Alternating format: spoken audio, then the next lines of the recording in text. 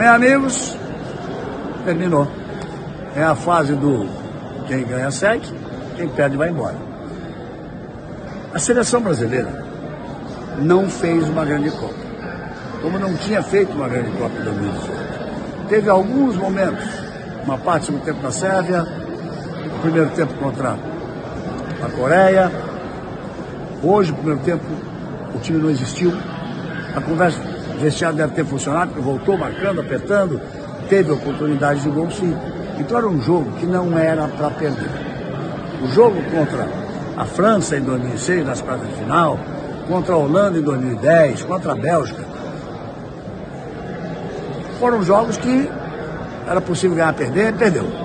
Hoje não era jogo para perder.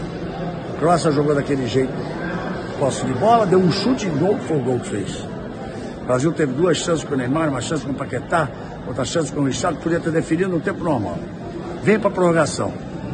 Quando pesa mais. Mais um belíssimo gol daquele do Neymar. Acabou o jogo, fura a bola. Não pode dar mais espaço. Aí o Fred não entrou para fechar o meio campo. O que, que ele estava fazendo na linha de fundo de ataque brasileiro naquele lance? E o Casimiro junto da entrada da área do time adversário. Sobrou espaço. A hora que a bola chega, ele é, o, é a bola no jogo. E foi. E tomou o gol. Nos pênaltis, foram superiores. Como é que você pode ter uma cobrança de pênalti que o Neymar nem chega a cobrar?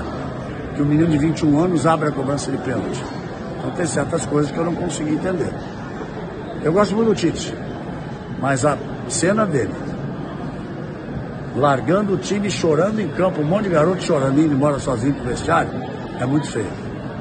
Eu sei que ele não é de ficar comemorando quando ganha, mas não se pode largar uma nova geração chorando em campo e ir pro vestiário.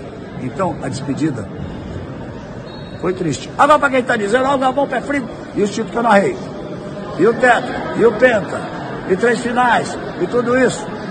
Eu sei que tem os haters, tudo, mas vamos embora lá.